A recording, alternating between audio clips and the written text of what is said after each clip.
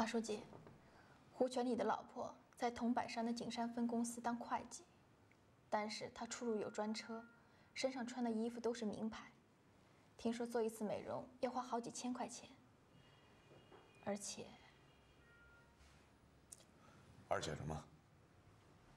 我说不出口。嗨，我替小飞说吧，他老婆在酒店里还包养了个小白脸儿。这得花不少钱啊！我和他的老婆接触过，基本属于那种自我感觉良好的人，口无遮拦。他告诉我，他家的钱都是桐柏山给的，当会计也不挣几个钱，主要是靠胡全礼给桐柏山做事情来挣钱。我顺着这个线索往下查，还掌握了一些关于桐柏山在狱中捞人的犯罪资料，还查到了当年震惊临河的三间暴力越狱案。有可能是一起假案，被击毙的那个叫王龙的犯人，和其他三个犯人，都有可能是受指使的。胡全礼就是当年被挟持的狱警。你了解的这些情况，跟我们掌握的检举材料很一致。我怀疑那起越狱案是桐柏山勾结了公安局内部的某些人策划的。嗯，对于这个案子，当时有人提出来过。可是被打压下去了。我还找到材料证明，去年的三幺八爆炸案有可能也是假造的。胡全礼的二等功大有水分。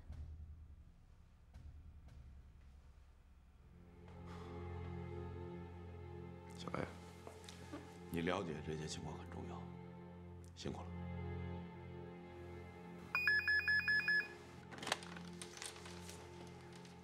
童总啊，什么事儿啊？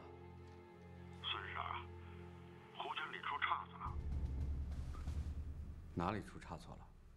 有人正在调查他，他这二等功的事儿啊，有人在怀疑。这事儿，您看怎么办呢？不就是一个胡全礼吗？值得为他上蹿下跳吗？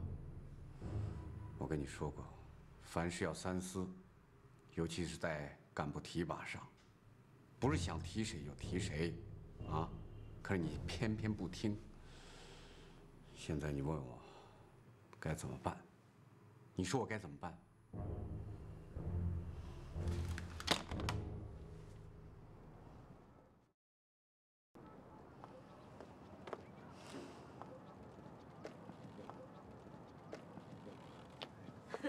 来了，叫三叔，三叔。哎，哎哎，对了，你拿上这二百块钱啊，找一个大饭馆。切点猪头肉，再打两瓶好酒啊！一会儿来几个送料的啊！我一会儿再去呗。你去吧你。对了，前两天你说啥玩意儿是粉什么底没了？啊，顺便啊，再再买上啊。姐，那我陪你一块儿去吧。啊，不用，就两步道的事儿，我一会儿就回来啊。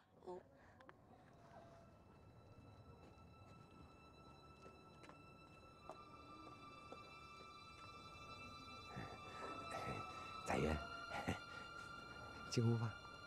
哎，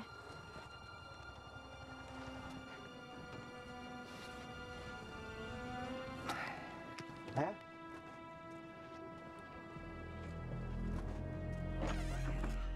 来来来，哎，进来。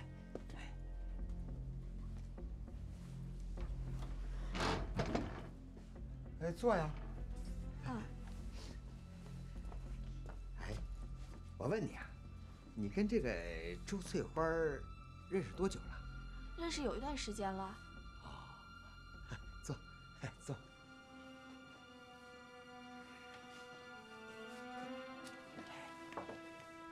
来来来，对吃个苹果啊。嗯。听这个周翠花说，你的相好进去了。他犯的什么事儿啊？三叔，我给您的那个材料上边不都写的很清楚了吗？怎么，你没看呢？看了，看了，只是我那个记性不太好，我就是想啊，亲自听听，啊，我好帮你想办法。真的啊？怎么着？你还信不过你三叔啊？哎 跟你这么说吧，这林河呀，你三叔想办的事儿啊，那还没有办不成的。哎，你这相好的事儿，哎，包在三叔身上啊。三叔，这事儿就拜托您了，您可一定得帮我。啊，没问题，没问题。可是这也不是说说就能成的事儿，是吧？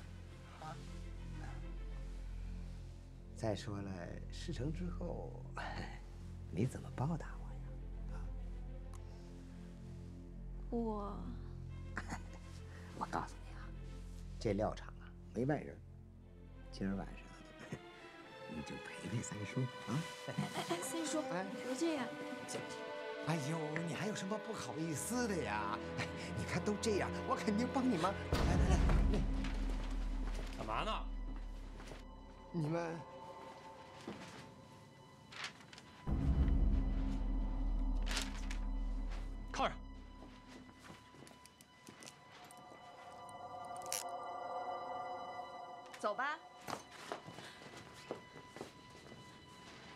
叔，哎呀，妹子，这这怎么回事啊？你个猪脑子！闭嘴！带走！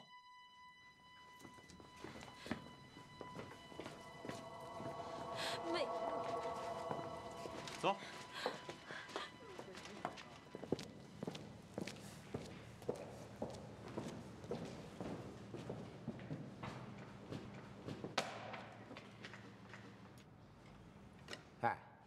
们凭什么把我抓起来？啊，我可是个守法公民，哼我要告你们去！你给我老实点！你敢说你是个守法的公民？对，怎么着？不相信呢？不相信你可以问我堂兄去啊！哎，我堂兄童百山，知道吗？是咱们临河市著名企业家，所有人见他都敬他三分。哼，我这点事儿让他知道了，有你们好瞧的？你还别拿铜板山来吓唬我。要不然你现在给他打个电话，把你的情况跟他说说。打吧。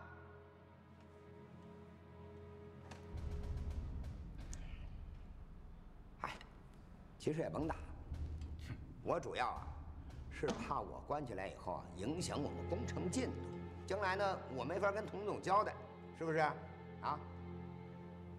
要不然你们就把我放出去，让我继续去工作，好不好？童三铁，我们不是随随便便把你抓进来的，怎么能说放就放呢？啊，不随随便便，我怎么了？我不就是一不留神碰那女的一下吗？啊，就凭这个就把我给铐起来了，你们这是违法的。你学会吓唬我们了。你看看这张照片，认识这个人吗？不认识，你仔细看看，不认识。我提醒你一下，这个人叫李三曼。什么三曼四块的，没听说过。给我们装傻是不是啊？啊？我装什么傻？啊？我凭什么装傻？不过我说呀，你们还是把我放了啊，省得好抓难放。童三铁，我告诉你，我们把你抓进来，就没打算把你放出去。哼 那好啊，咱们就骑驴看唱本儿，走着瞧吧。你这样的人我见多了，别在这儿跟我演戏了。演戏？演啥戏呀、我看你们才是跟我这儿演戏呢。通三铁，我告诉你，我们现在是给你机会啊！我们没有足够的证据，能把你带到这儿来吗？你拐骗那些南平的民工为你卖命，你干的那些坏事，你以为别人不知道吗？你们都知道了，有证据了，把我抓起来判刑啊！我现在就是给你重新做人的机会，你不明白？我真是不太明白。二位，恐怕你们这年龄加起来没我大吧？我吃过的盐比你们吃过的米还多。给我下套，我凭什么重新做人呢？我怎么了？好，待着吧。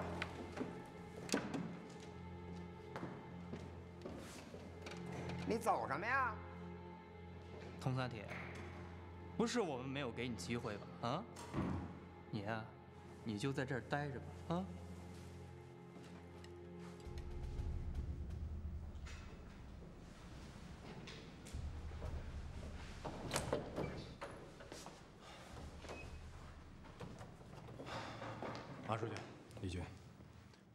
这家伙是个老油条，想跟我们拖时间。我想，是不是把李三曼叫过来，当面揭穿他？李三满的态度还不清楚，能不能配合是个问题。童三铁被抓的消息一定要保密。我们已经封锁了消息。我检查了童三铁的手机，里面有一条短信，是百山集团的老黑给他发的，说是最近风声比较紧，让他赶快离开临河。我们分析，童三铁之所以没有走，是想把王雪的这笔钱骗到手。我就用童三铁的口气回了短信，说是今天就离开临河，去周翠花的老家南平避风头。为了以防万一，最近不要联系。所以这几天应该没问题，但是再往后，恐怕就瞒不住了。嗯，我也觉得，时间不能再拖了。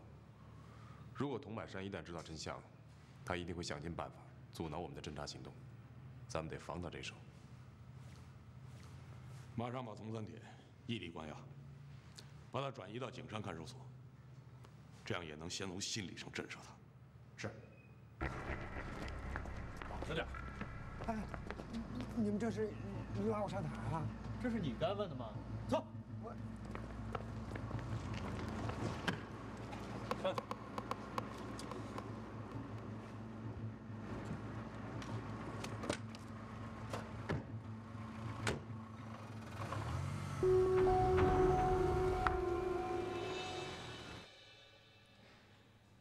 翠花姐，你做的这些事情，对得起你儿子吗？对得起你们家三曼吗？你要是再不醒悟的话，我可就帮不了你了。妹子，你得帮我，我不能没有我儿子。那你就把佟三铁让你做的事情，一五一十的跟我说说。我要是说了，他们会。这个你放心，佟三铁已经被抓起来了，这你是看见了的。而且我们也跟省城的公安取得了联系，他们已经把你的儿子保护起来了，连你的老公李三曼他们也保护起来了。你现在要做的就是把事情交代清楚，这样我们会妥善处理的。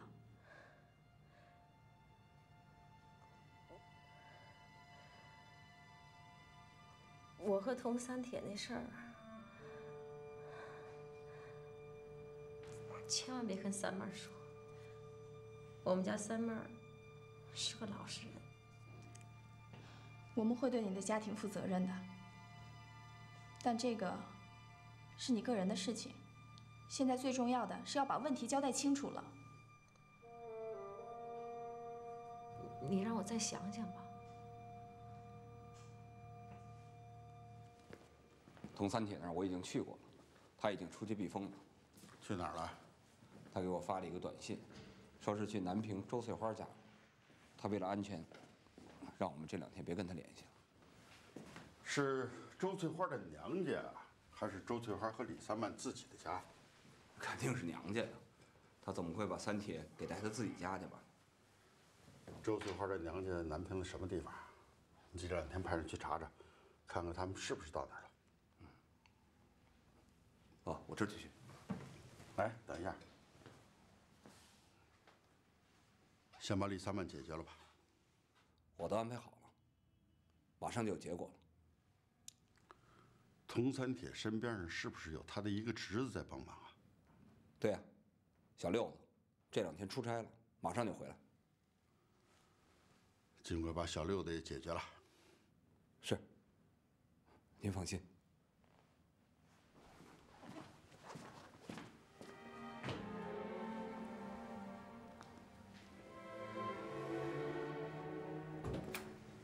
钟姐，哎呀，这案子没法办了。怎么了，肖永贵？哎呀，李春江怀疑是他们公安内部的人投毒杀死了王正茂，他要自己查，不让我插手。那该怎么办？怎么办？找马书记反映，这案子该怎么办，他就应该怎么办。这个事儿啊，马书记刚跟我打过招呼，还没来得及通知你呢。王正茂的死已经超出了看守所领导的渎职问题，公安内部有更大的隐患，所以李局他们要求在公安内部先立案侦查，检察院暂不介入，免得问题复杂化。我看呐，既然李局他们内部现在这么乱，咱也没必要跟着介入，你先撤出来。你钟检都同意了，我还能说什么？行，我走了。哎，等一下。看守所这个案子，不仅仅是王正茂一个人的问题，潘财章可能问题更大。公安那边已经开始调查了。这个案子，检察院迟早要介入的。你对潘财章好像比较了解，我希望你能够前期准备一下这方面的材料。另外，咱们院监所科的个别人也有问题。我希望你抓一下这方面的工作。那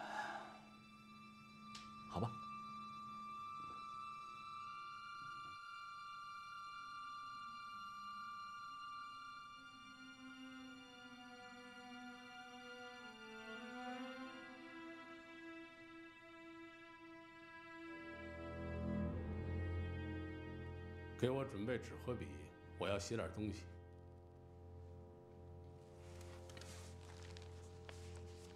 哎，老潘，你要早这样多好啊！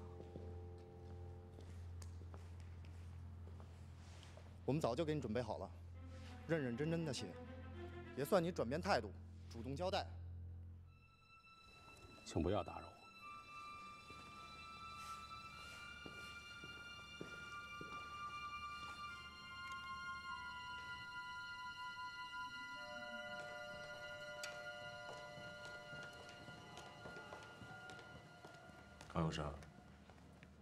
天你哭了一晚上，为什么呀？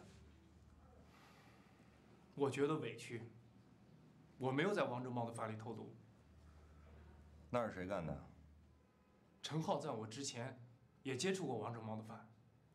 那好，那你觉得他是从什么地方得到的毒药？我怎么知道他从哪得到断肠草？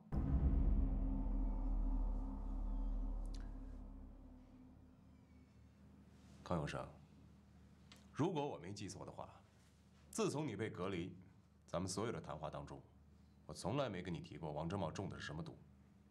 你怎么知道是断肠草？我猜的。潘永生，你别抵赖了，你说，为什么要这么干？我没干，我没人让我。我没问你，是谁让你干的？你为什么要否认？我没有。刚说过的话，你就要推翻？要不要把监控录像回放给你看看？我知道你和王真茂没什么恩怨，一定是有人指使你这么干的。你要是主动交代，可以减轻你的罪责。我真的没干。好，你要是这种态度啊，那咱就没有必要再谈下去了。你就等着处理结果吧。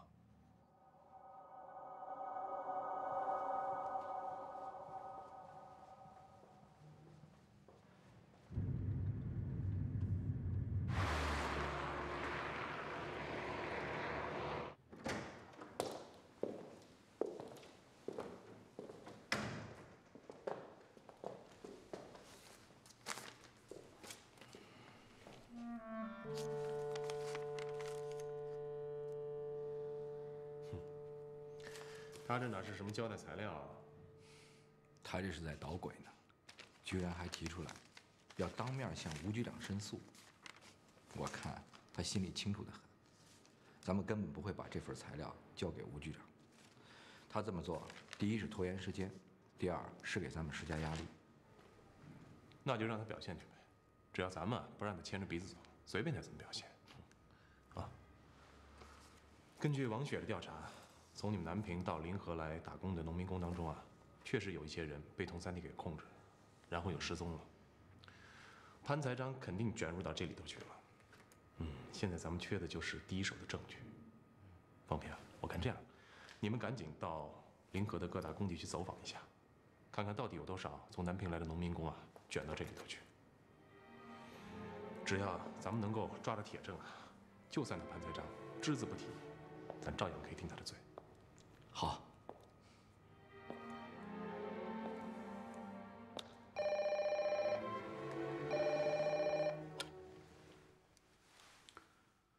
喂，是我。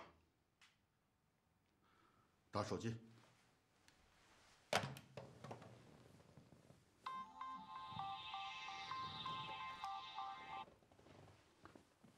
说吧。童总，你是想跟我打马虎眼是吧？为什么还不对范大杆子和潘德章下手？你到底能不能干？什么时候才是你认为合适的时候？你听我说，我现在这边有点困难。马其明、李春江他们啊，不仅严加防范，而且一点风声都不露。这种时候还是谨慎点好，不能让他们抓住把柄啊！你不用给我解释这些，佛爷只要结果。不是有胡全礼和吴达公的吗？他们俩干什么吃的？该怎么办我清楚，轮不上你在这说三道四。你跟我耍什么横啊？这么点事儿你都办不了，你还好意思吗？有本事你来干！童百山，你给我听清楚了，这件事儿你自己看着办。佛爷说了，如果你办不成，你就趁早让位，别占着茅坑不拉屎。你也给我听着，想趁机占我的地盘，做梦！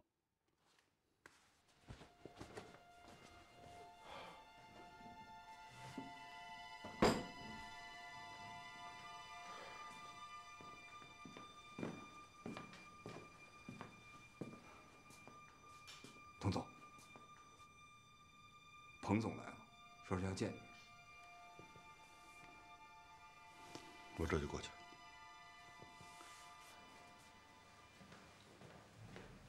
哎呦，哎，范总，哎，来来，走走走走走。哎呀，好久不见呐！一会儿咱们吃饭，喝个痛快。哎呀，哪还有心思喝酒啊？怎么了？出什么事儿了？还不是为刘东的事儿啊？这潘所那边也没什么消息了，也联系不上啊。这好些日子过去了，我看这事儿要黄啊。潘所有点麻烦。什么麻烦？我劝你啊，还是把刘东转到别处去吧。待在这儿啊，一时半会儿肯定出不来。我看你现在心情也不太好啊，是不是也遇着麻烦了？我身边也有小人。谁呀？你不认识。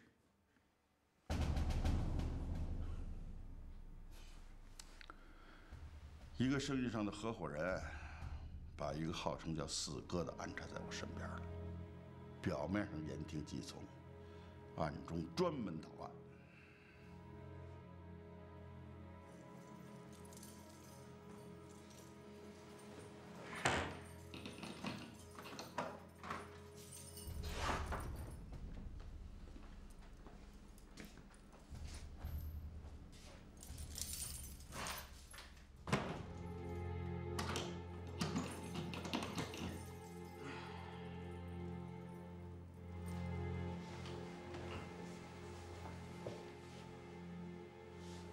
怎么样，见着你姑父了？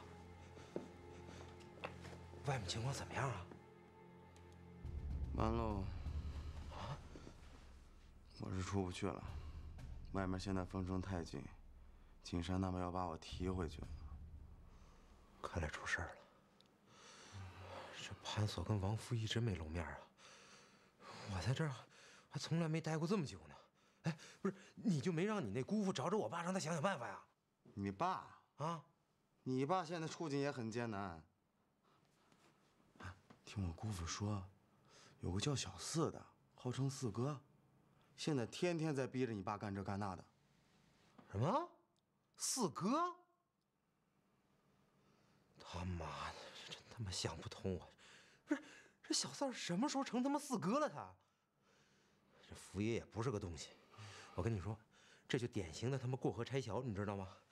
他们也不想想我爸当年是怎么给他们卖命的。好啊啊！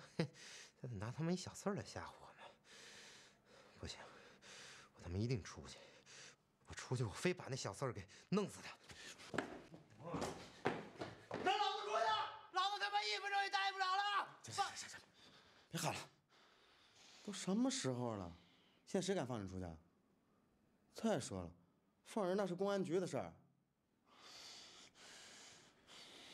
我姑父说了，你爸让你老实在这待着，千万别惹事儿。哎，现在外面正在翻腾陶石的事儿呢。哎，这个陶石到底是怎么一回事儿？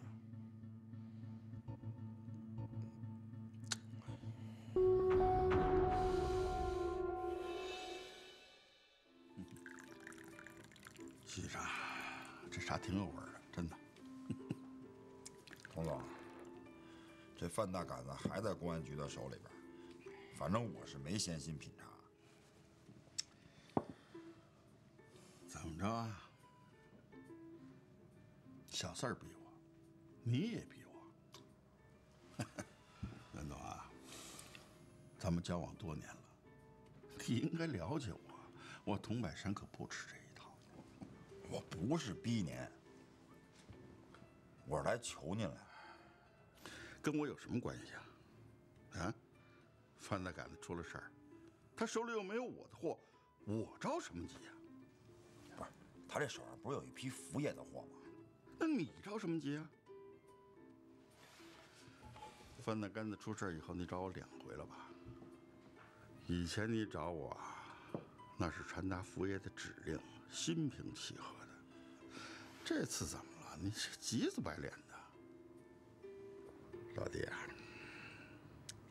你得跟我说实话。你不求我办事吗？那我得判断判断。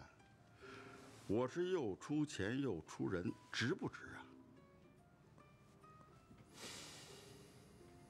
啊？啊，实话实说，我背着福爷进了一批货，让范大杆子给吞了。我说嘛，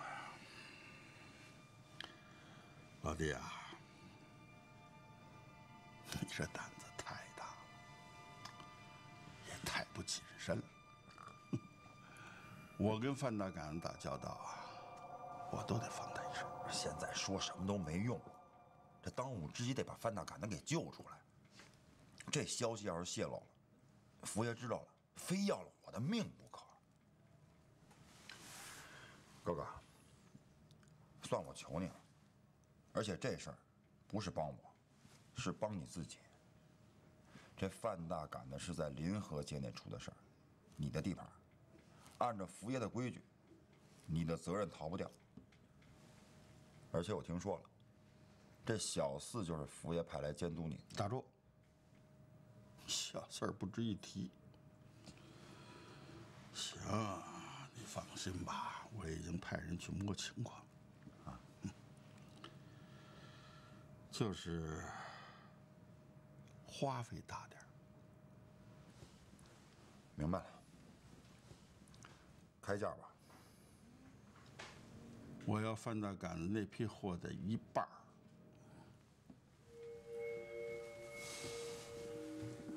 童总，趁人之危是吧？喂喂，哎哎，不是商量商量。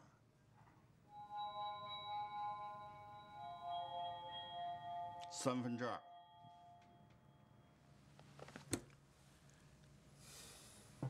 一半。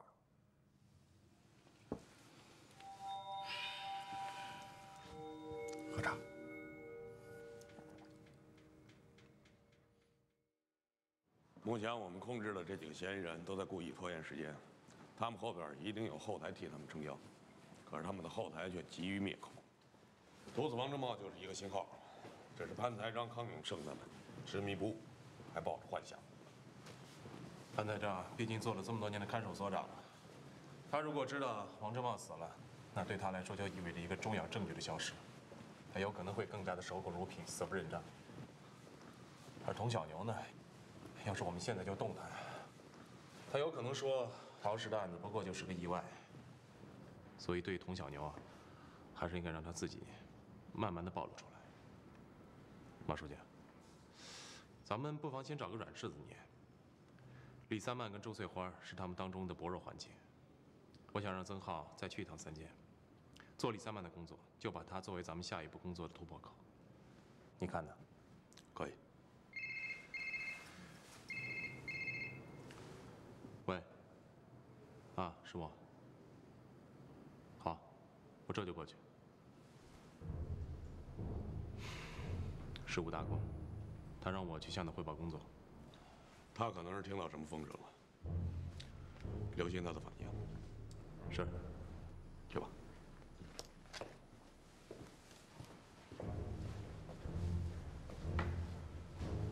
什么？王正茂被暗杀了？是什么人干的？经过初步查明啊，是公安局内部人干的。看守王正茂的康永胜、百里和陈浩都有作案的可能性，目前还在排查。这在咱们临河公安历史上还是第一次。你们是怎么搞的？吴局，有个问题我想问一下。比如说康永胜吧，他是几年前通过关系给安排进来的，工作还不到两年，就已经当上了指导员了。这两年咱们局里的人事工作一直是你在主抓，我想这里头的问题你应该比我更清楚。李局，你这是在推卸责任吧？不，我不是在推卸责任。我是觉得像这样的教训，咱们必须得吸取啊。我建议啊，咱们应该开个党组会，好好讨论一下，排查一下在咱们局里到底还有多少像康永生这样不称职的干警。我认为当务之急是不能再出事了。李局啊，看来你最近工作上和家庭上的压力太大，忙不过来，疏忽了，才造成了王正茂的死亡。你还是集中精力去抓综合治理吧。专案组的事你就不要过问了，我让胡全礼来接手。这个恐怕您跟我都做不了决定，因为是公安局内部的人害死了王正茂。马书记决定啊，由他来亲自抓王正茂和潘在章的案子，所有办案的人员都得经过他的审查和批准。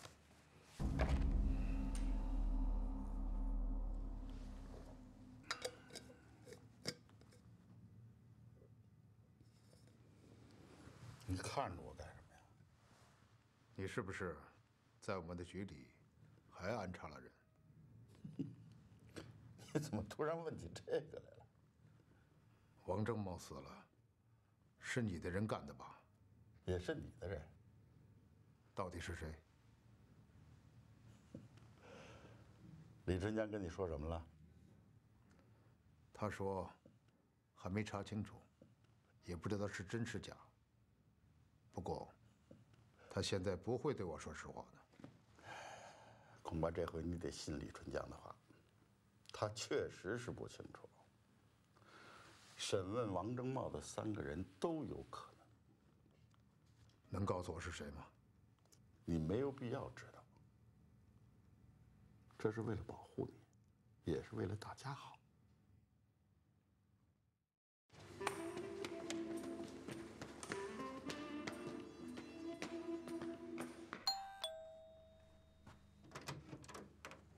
书记，你们怎么来了？啊，我又发现一些关于胡全礼的重要线索。啊，进来吧，进来说。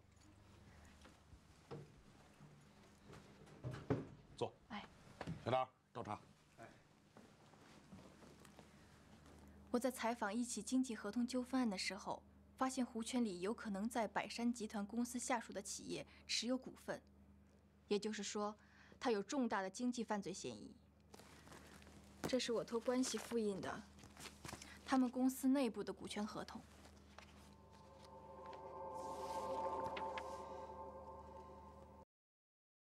高姐，找你来是有一项重要的工作要交给你。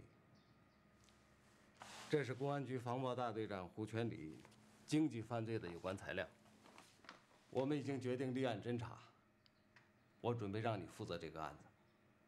我可给马书记打过保票了啊！你不能让我失望。我会尽力的。你怎么老是这几个字儿？你就不能说几句提气的话，让我心里也能踏实一点？说那些有什么用啊？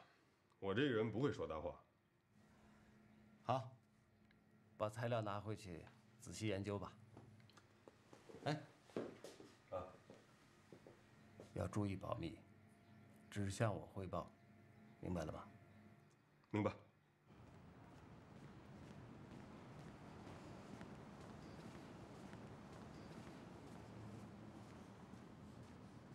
孙市长，我们公司出资五千万资助市里头五个特困企业的工作啊，马上就要展开了。您看，您还有什么指示？你们报上来的计划我已经看过了，很好，就按这个计划办吧。啊，哎，我已经做过批示了，你没看到吗？我看到了，看到了。我就是想当面再听一听，您还有什么新的指示？你是想说胡全礼的事吧？哎，我，你告诉他，是他自己不争气。他的事儿啊，过段时间再说吧。他要经得起考验吧。我其实是还有别的事情向您反映啊。什么事儿啊？药厂分厂的工程进行到了一半了，现在又有几个股东提出来，说是临河的治安不稳，怕投资收不回去，本该到位的第二期工程款呢一直打不进来，这工程可就要停了。临河的治安怎么不好了？看守所所长失踪。副所长突然死亡，刑事案件屡屡发生。你这是从哪儿听说来的啊？马其明书记没有向市委汇报。我听吴局说啊，现在马书记啊甩开了他，直接插手基层案件。孙市长，您是市委常委副书记，马其明的工作您有权干预。您应该找他谈一谈了，不能听之任之啊！必要的时候啊，您可以直接向地委汇报。他最近的所作所为，那对咱们临河经济的发展是有负面影响的，也对您抓经济工作不利呀。马其明不是车光远，把人都得罪光了，你能抓住他什么问题呢？啊？你是不让他抓贩毒，不让他下基层，还是不让他工作？可是这个。看守所的问题呢？这是公安局内部的事情，在他的职权范围之内，我不好说什么。洪总啊，你不要把你不喜欢的人都想撵走。你要换个方法，要和人家交朋友，这才是最高境界。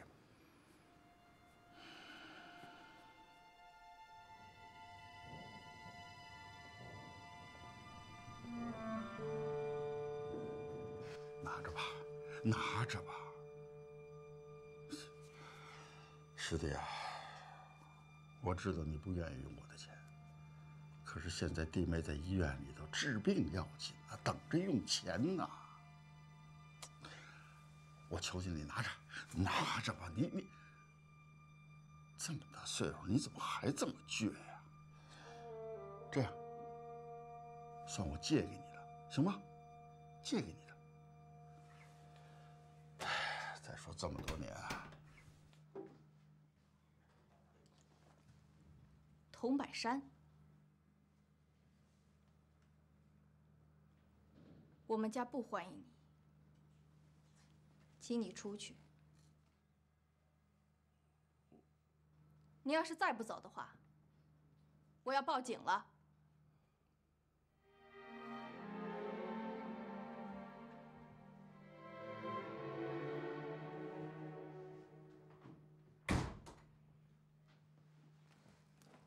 你昨晚上来电话说要连夜赶回景山，怎么这会儿突然又回来了？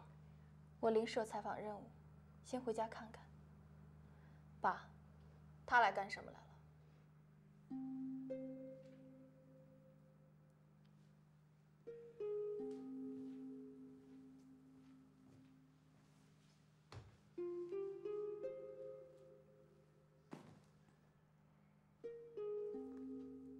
这是他拿的钱。这，你为什么要他的钱？他害得咱家还不够惨吗？小飞，今天你妈说她特别难受，我陪她去了医院，大夫说她的类风湿加重了，必须住院治疗，不然的话她会瘫在床上，就再也起不来了。可是钱呢？那么大一笔钱，我上哪儿去弄啊？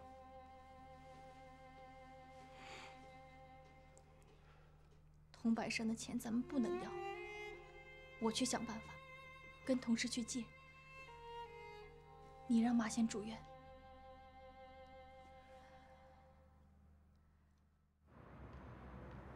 喂，小飞啊，不是说好晚上一块吃饭的吗？我这等你半天了也没信儿。我这都跟马书记请好假了。对不起，小田，我妈病重，住院了。啊？哪家医院？我过去。人民医院。哦，我现在不在医院。你现在在哪儿呢？去百山集团，还钱。还钱？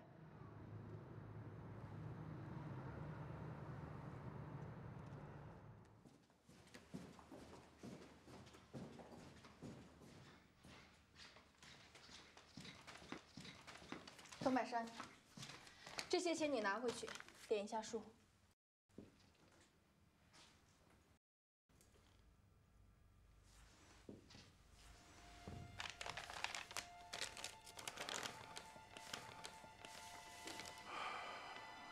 钱是我给你妈妈看病用的，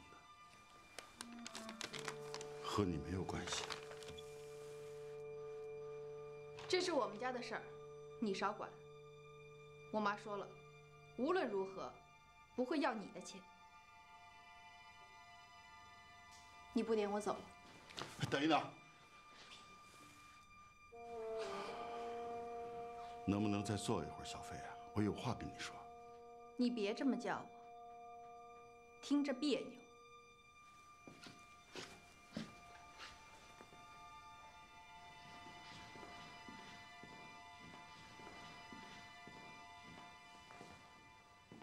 不闹了。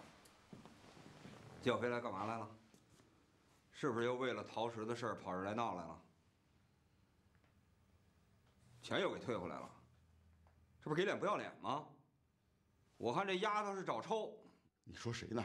你找抽，滚！滚！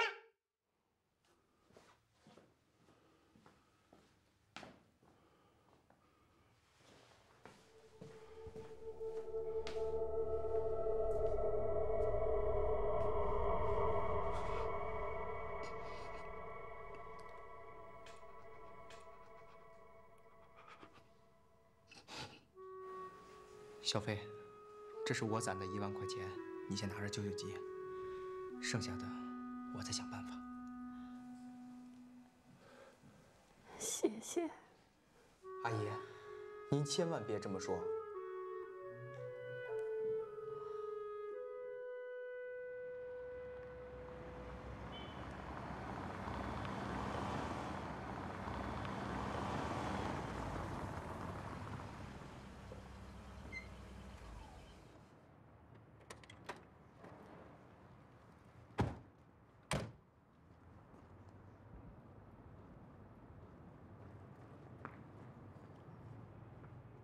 看来是有好消息啊！你说吧。我到了三监以后，这几天在狱方领导的安排下，跟李三曼接触的比较多。对方终于忍不住了，对李三曼下手，被我当场抓住。凶手现在被扣留，调查作案动机。三监那边会随时跟我们联系，报告调查情况。李三曼已经被我带回了临河，他现在态度有所变化。好，突审李三曼。是。李三曼，李三曼，嗯啊啊，哎，好久没人叫我这名字了，我都有点不习惯了。在里边，人家都管我叫周生军。我问你什么你就回答我什么。哎，你别总是遮遮掩掩的。哎，在里边，多亏了曾队您救了我，要不我早就没命了。您想问啥？只要是我知道的，我全告诉你。好。铜三铁是怎么把你弄进去的？你为什么不说话呀？我，我拿了他的钱。我亲来的时候，他再三嘱咐跟我说，呃，他不让我说。如果我要说了，他会把我的儿子给杀死。童三姐已经被我们抓起来了，你儿子也在我们的保护当中。我可以负责任的告诉你，我们完全可以保证你和你儿子的人身安全。说吧。哎，那那我老婆，她现在怎么样了？你老婆？被童三铁拉下了水，正在进行审查呢。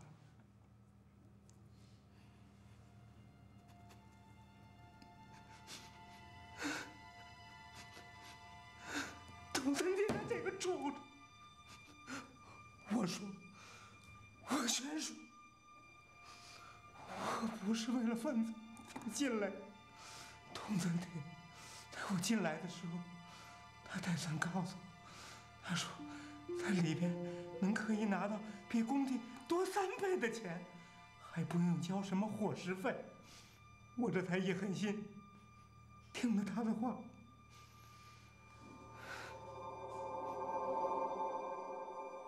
周翠花，有人想见你。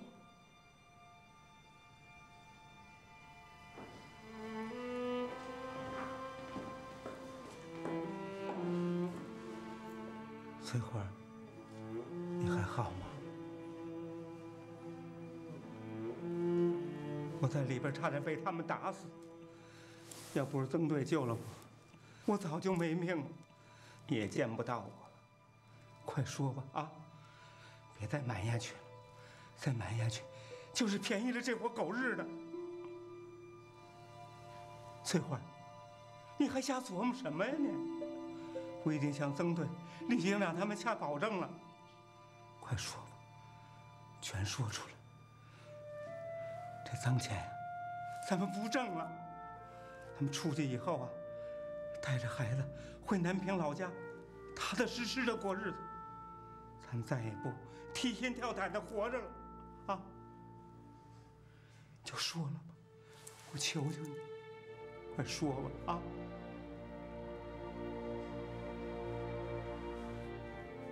李三曼。哎，走吧。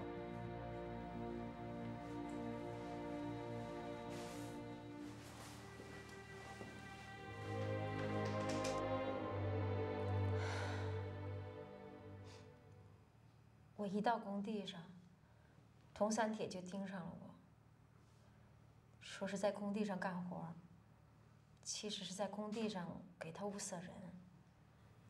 我不是个女人吗？容易接近男人，我就专门盯着那些从穷地方来的光棍们，跟他们套近乎。他们看我人挺好的，又热情，都愿跟我掏心窝子。我就问他们，有个更能赚钱的活，干不干？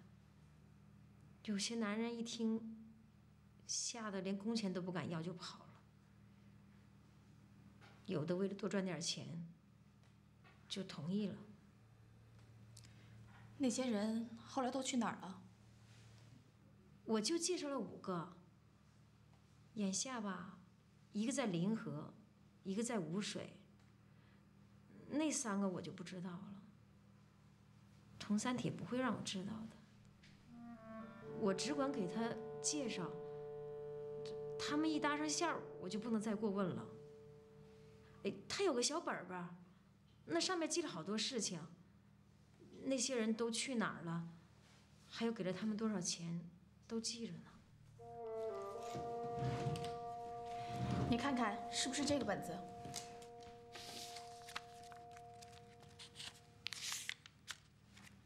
是这个，就是这个。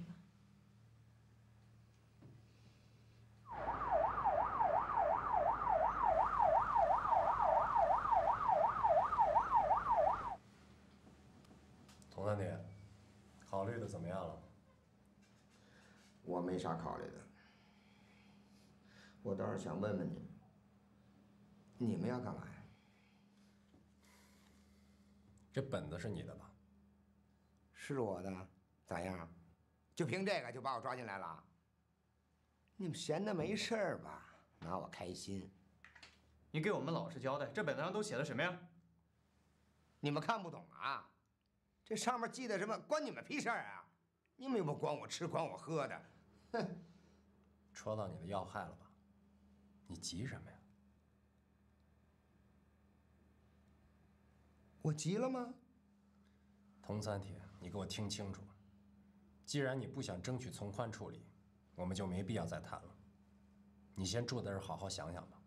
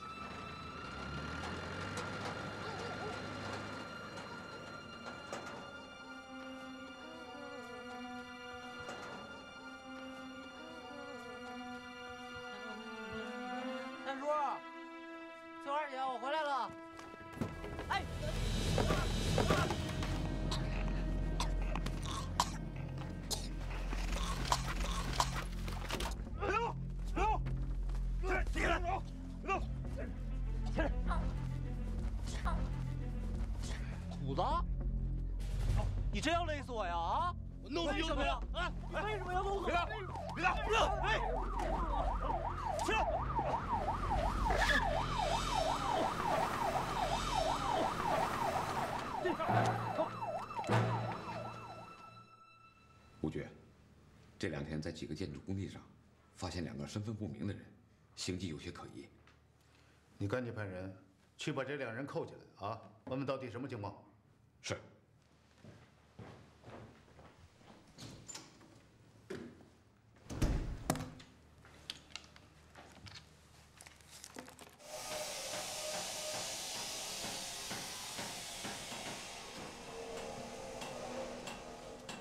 咱们掌握这么多证据，佟三铁是跑不掉了。咱们去跟李局长汇报去。好。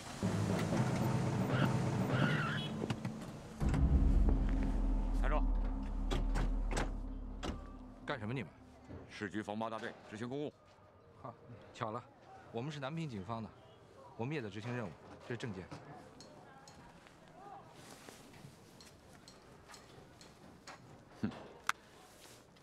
证件真的假的还得查证，带走。莫名其妙！哎，我是南平警方的。哎，我。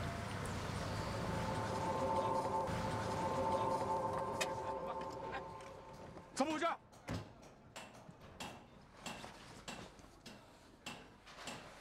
李局啊，我们防暴大队在执行公务，发现这两个人形迹可疑，准备带回局里审查，他们拒绝合作。这两个人我认识，是南平警方的，到咱们临河来执行特殊公务。这样吧，他们跟我走。李局，胡队，放心吧，出什么事儿啊，我负责。走。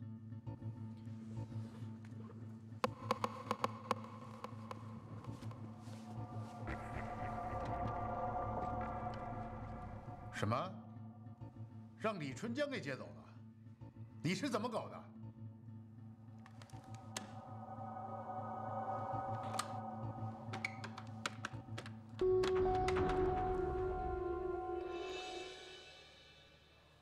江吗？你马上回局里。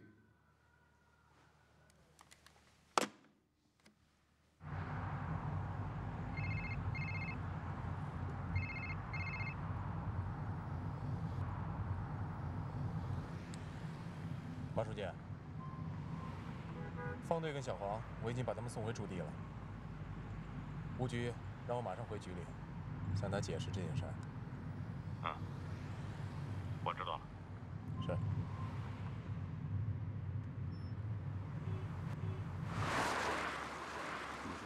你说，你带走的人到底是谁？对不起，这涉及案情机密，我不能说。机密？你别又拿毒品案的事来说事儿。告诉你，这次你休想搪塞过去。李春江，你也太目中无人了吧？至少现在，我还是临河市公安局的局长。如果这次你再说不清楚的话，你休怪我不客气。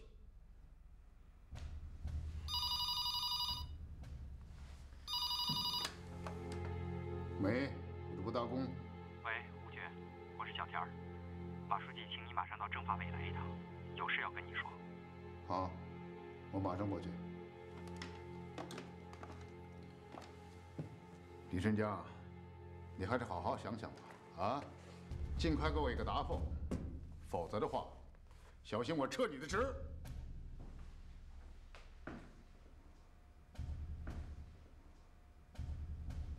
吴局，这事儿不能怪李局，要撤你就撤我的职好了。您是政法委书记，您是我的上级，我怎么能撤您呢？我的意思是，如果你觉得我哪儿做的不对，你可以直接向我的上级去反映，可以去地委反映。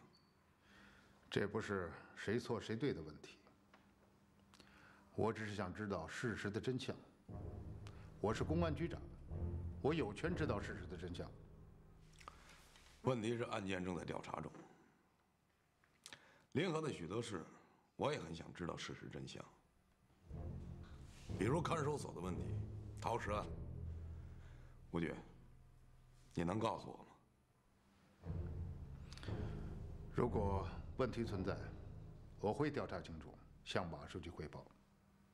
今天我的做法，就是想把问题调查清楚。据我所知呢，这两个人来了解的事情，关系到周边好几个县市，是由地区政法委直接掌管的案件。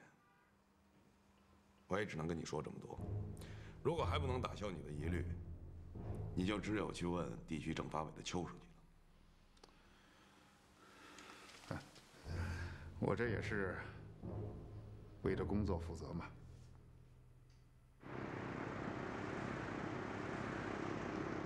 小六，待会儿就按我们说好的去做，把你知道的情况跟佟三铁说清楚，听懂了没有？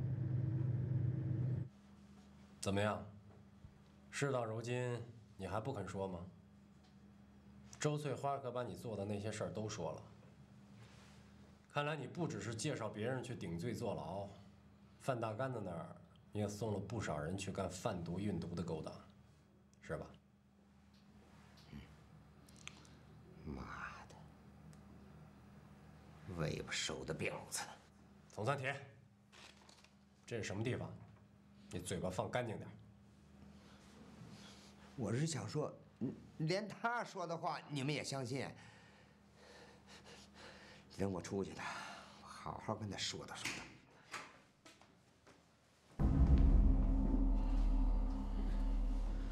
三叔，你快说吧！你要不说，咱们俩的命可都保不住了。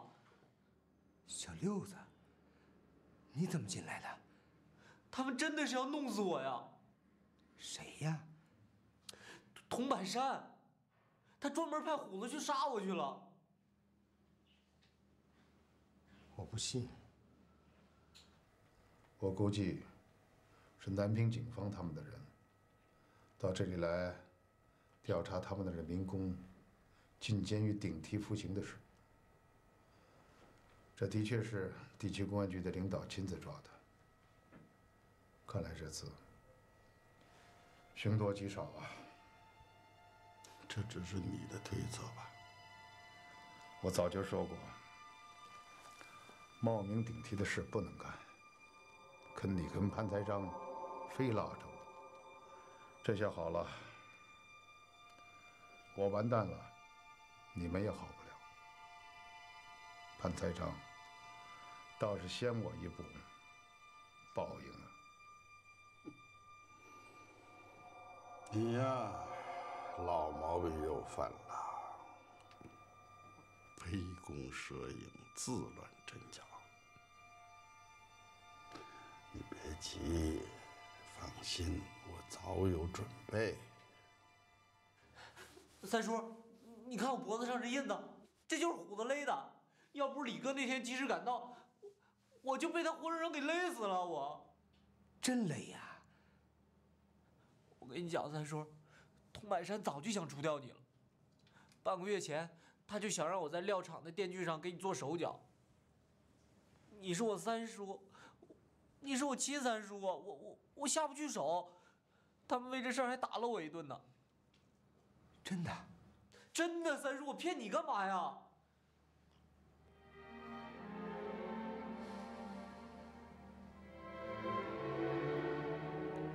童百山，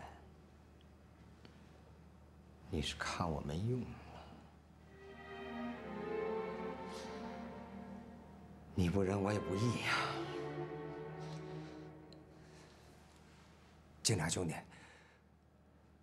我说，我都说了。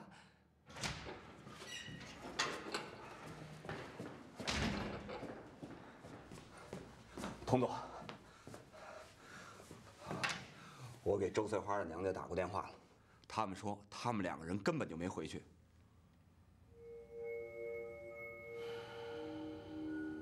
看来彭三铁那个电话信息是被公安做了手脚，有可能啊。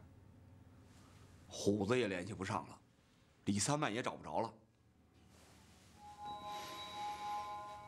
马其明、李春江真的要动手了。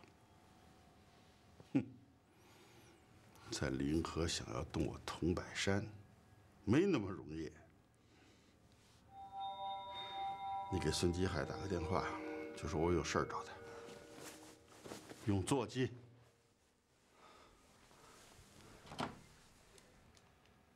算了，不找他了。现在让他出面，他也不敢。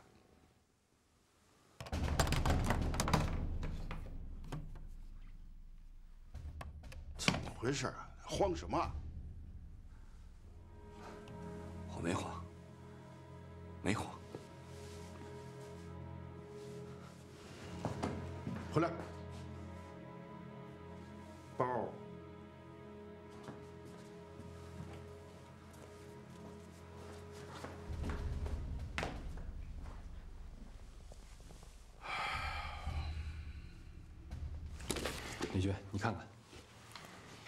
三铁全撂了，供出了控制南平民工为佟百山团伙卖命的犯罪事实。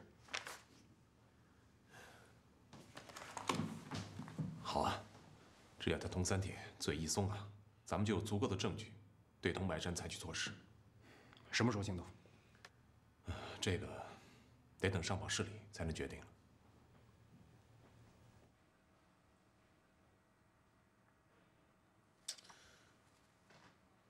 这个案子怎么把童总给牵扯进去了？袁书记，这事儿可不是牵扯，童百山他根本就是个主角，是他牵扯到了别人。看来你们都准备好了。准备好了。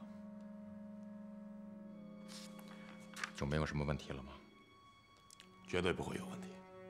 呃，你们保证能赢吗？袁书记，您是不是有什么顾虑？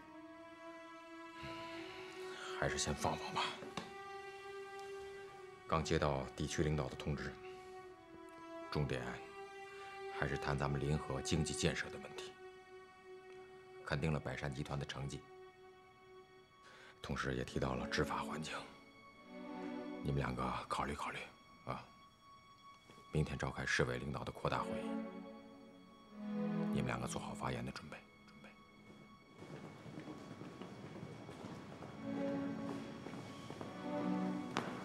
马书记，下一步工作该怎么办？明天开会的时候，别乱说话。我听说别人叫你马大炮，怎么，大炮到临河也变哑巴了？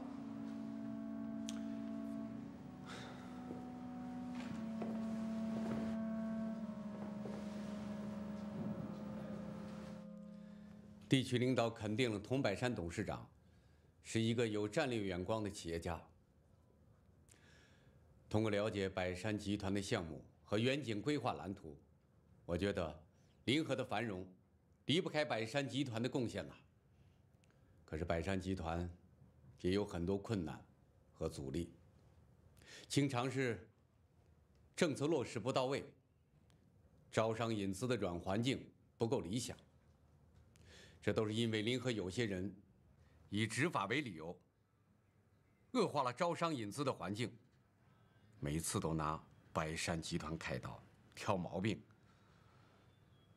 我个人绝不能容忍任何人犯眼红病。面对企业中存在的问题，我们要用客观求真的态度去面对，要多看正面，要少强调反面。要用积极的态度应对改革发展中存在的任何问题。我先说这么多吧，大家可以讨论，畅所欲言嘛，啊？我说两句吧。我们是要发展经济，但我们更要发展健康的经济。市场经济的复杂性和艰巨性，要求我们党的各级干部及每一位执法者。都要认真的思考，如何执法，如何用法律来保护我们每一位公民和他们的合法权益。我们要让人民满意，人民的利益才是我们的根本利益。这样吧，呃，今天的会啊就到这儿。散会以后，大家回去啊再多想想，下次开会再接着谈。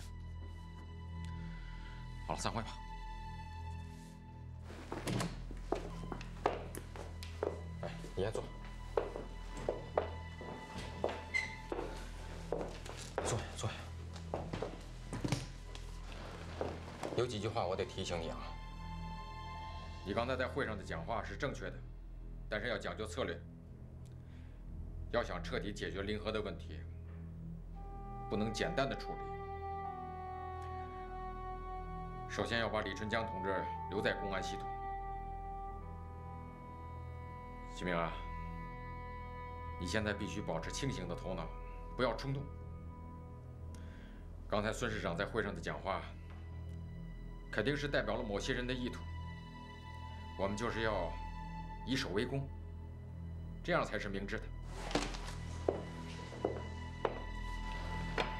我还是那句话，凡事啊都要小心。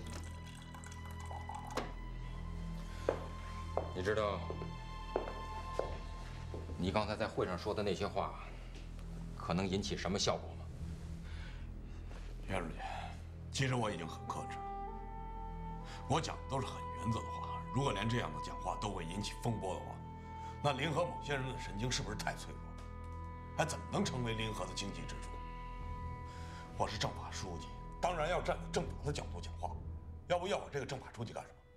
干脆都让那些企业老总兼职得了。你的心情我理解。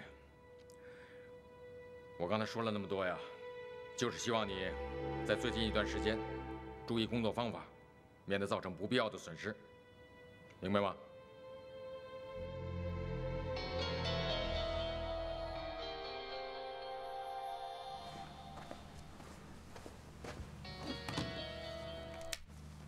喂，梅涵。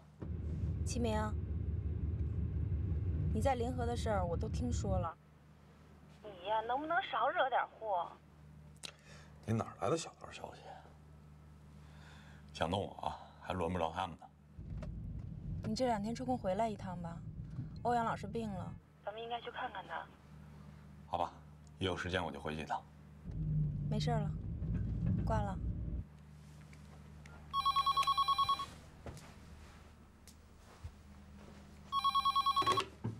喂，喂，启明啊，睡了没有？袁书记，还没睡呢。我也睡不着，要不我过去咱俩下盘棋？下棋我可下不过你，要不你过来聊聊吧。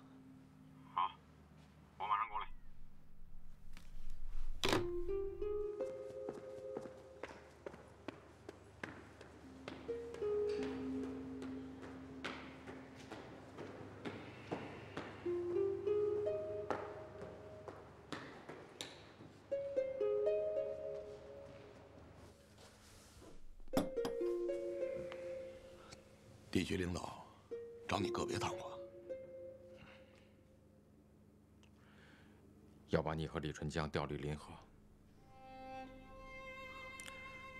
地区农场缺个党委书记。启明啊，你告诉我，这个案子你到底掌握多少？只要给我时间，我就能查得个清清楚楚。我就想问，什么时候能有结果？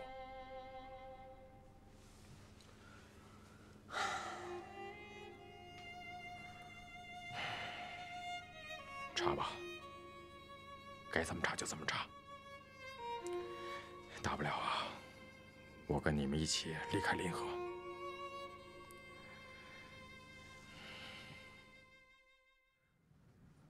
今天咱们的会啊，是要定方向、定调子、统一认识。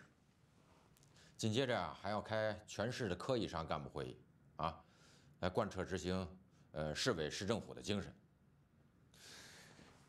下面请孙市长说一说具体的内容和任务。总的任务就是，全市的干部务必把思想集中到经济建设上来，一切为了经济服务，为了临河稳定发展服务啊。马书记啊，我要特别强调你们政法部门要端正思想，积极为企业保驾护航啊。我们会召开政法委会议，加以研究落实。很好。市委还要推出十二家重点挂牌保护企业，可以确定的第一家就是百山集团。马书记，你们政法部门工作还很重啊。因为种种原因啊，今年我们的总体指标还有一半没有完成。下一阶段我们要全力以赴，加强这项工作。我认为还是要继续实行责任化、目标化，要把招商引资作为考核干部的一项重要标准。马书记啊，你们政法口也有经济指标啊。那都去招商引资了，案子还办不办了？这个并不矛盾吧，啊？警官、法官、检察官都去拉钱办企业，还能做到执法公正吗？当然是要在保证执法公正的前提下去完成招商引资。给你们政法口的指标不高，只有三千万。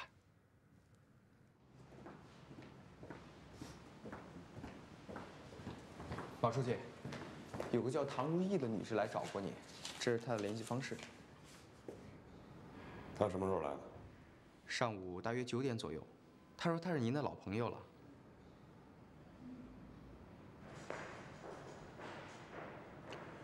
袁书记，我有话跟您说。我就知道你要找我，是不是对招商引资的做法有意见？您不觉得荒唐吗？怎么能定成硬性的指标呢？发展是硬道理，市委已经决定了，就努力争取吧。啊，杨书记，我坦率的跟您说，我不想看到政法系统的干部因为拉投资而丧失了公正的立场。你们能不能再议一议，政法系统就不要下指标了？能不能完成三千万，可以再商量，但是你必须积极，不然的话就会有人拿这个做文章，向地区反映，把你调离。这手厉害呀，大概连童书记都无能为力。看来这招商引资，我还非做不可了。启明啊，不要因小失大，你心里可以想不通，但是表面上你必须积极，不能让人家抓着花瓣，明白吗？啊，还有，关于桐柏山的问题，你们现在没有确凿的证据，暂时把行动先放一放。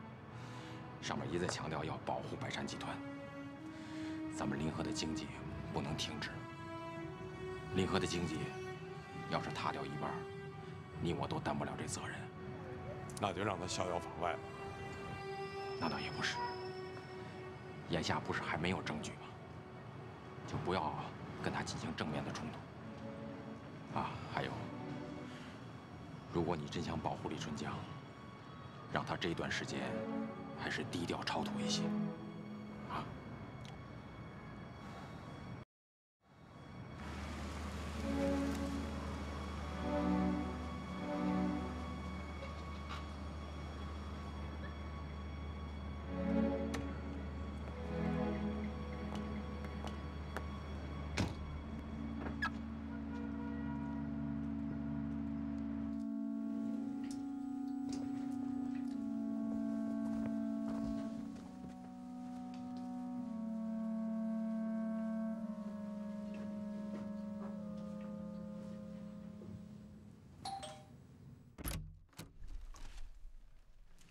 没想到你真来了 快请进。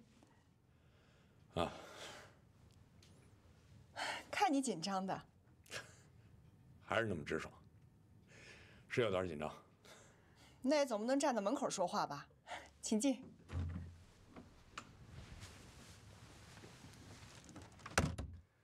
你可是没变样，还是那么年轻。谢谢，来喝茶吧。你看上去可是有点沧桑啊。工作繁忙。你怎么样？听说我调走不久，你也辞去了县旅游局长的职务。你该在那个位置上多干一些事啊。是啊，我知道，你把我提成旅游局长，你顶了很大的压力。有很多人说你提拔了一个交际花，给南平人丢脸。那是他们在嫉妒，自己不干事儿，就知道给别人泼脏水。女同志工作积极一些，思路广，办法多，就被说成是交际花。那么以后谁还愿意做事？我就是在做给他们看，要打击一下一些不思进取的歪风。我只是不了解，你怎么也那么快就离开了南平？现在在做什么？我现在在香港一家上市公司打工，是做大陆的代表。一直惦记着你当时对我的帮助，所以这次特意过来看看你这个老领导。特意来看我？其实也是顺路，公司派我到西部去做前期考察。你们打算在西部投资吗？很有可能。我们在大陆有五家分公司，现在有生物制药、旅游开发十几个行业呢。太好了！哎，你觉得林河怎么样？临河，我只是来看看你。这样吧，明天啊，我先带你好好考察一下临河。其实临河有很丰富的旅游资源，只是没有被有效的利用起来。我很希望你们能在临河投资。